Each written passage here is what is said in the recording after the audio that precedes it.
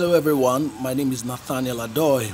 Here are a few guidelines on how learners can use um, Seesaw application and explore the learning activity on Seesaw. So the first thing is that your teacher creates a class and um, create an account for all the pupils. After the teacher creates an account for every child, the teacher generates a unique learning code for all the pupils in her class. Every child has a unique learning code, which means that with your learning code, you can sign into your account, post journals, respond to um, learning activities and assignments. With your learning code, you can sign into your Seesaw application anywhere in the world. And the beautiful thing is, every child has a unique learning code, which means that other pupils in your class don't get to see your work. So you can ask your teacher for your learning code. Now, the learning code generated for you expire after 90 days, but never to worry, you can always generate a new one at any time. And never share your code on social media or any other public forum. Keep your codes like you keep your password. How do pupils or learners use their home learning codes? Now, the first thing after you receive your learning code is to go to app.seesaw.me on your computer through your browser your or your Google Chrome, Internet Explorer or Mozilla Firefox. You can easily type the app.seesaw.me and it would redirect you to a page where you would select that you are a student and then you would enter the um, home learning code provided for you by your teacher. Your teacher would also provide you with a barcode, which is an alternative means to signing in instead of using your um, Seesaw home learning code. All you do is to scan the barcode using the QR code reader that you'd see on Seesaw.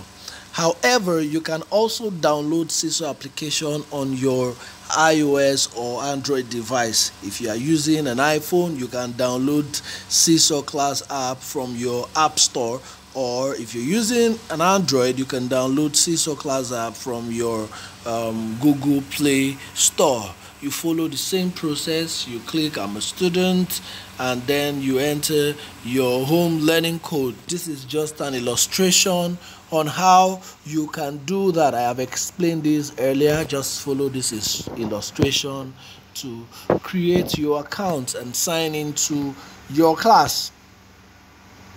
Now, when you sign into your class, this is your work area as a pupil or as a learner. Now, whenever your teacher posts an activity or an announcement, you would see it, you will see a notification in inbox here the inbox here would show you that there's a there's a there's either an announcement or an activity posted or a lesson posted by your teacher. Once you click inbox it would pop up here. So here is where you see the announcement or the activity posted by your teacher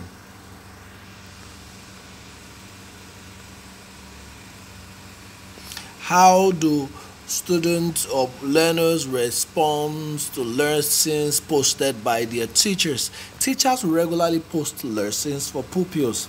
These lessons can be in form of a video or an audio or PDF file, which means that you need to watch, read, or listen to the lessons. When you are done um, um, studying the lessons uploaded by your teacher, you are expected to acknowledge that you have seen and studied the lessons using the comment section. Now, the comment section, this is how it looks. With this comment section, a learner can click the comment area here ask questions post an observation or acknowledge or receipt.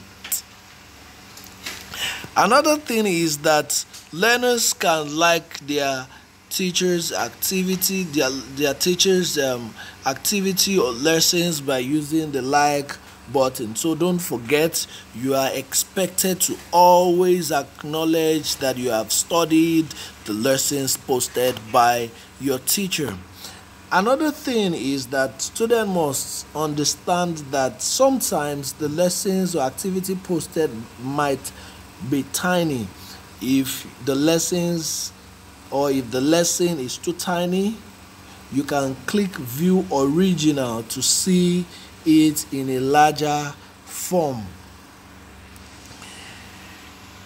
How do students respond to activities posted by their teachers? Teachers regularly post activities, assignment for pupils. This will always be visible here where you can see activity. So all you need to do is to tap the activity button and then it will be visible just like this so it will be visible just like this you can click add response to answer the activity. By the time you click add response you would see the instructions on how to answer the questions or assignment posted by your teacher.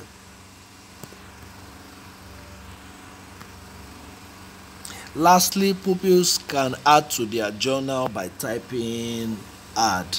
With this add button students can also do their assignments and every other necessary things that they want to do with um, the Seesaw application. So basically with this few um, instructional guide, I'm sure that um, this would help you to enjoy the Seesaw application and um, um, use it effectively. Thank you very much. Have a great time.